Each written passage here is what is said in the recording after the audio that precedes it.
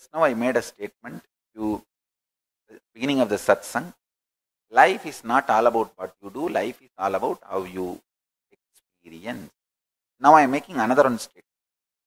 Life is life is all about what you are doing to others, not what you feel about yourself. Listen. This both statement may look very contradictory. You see through the folly logic and binary logic. Binary logic is waiting to become a folly logic. It is like a man who eats three times a day in McDonald's is waiting to become obese and diabetic and diabetic diabesity. Now new word has come up. Obesity and diabetes together, diabesity. And he is going to die.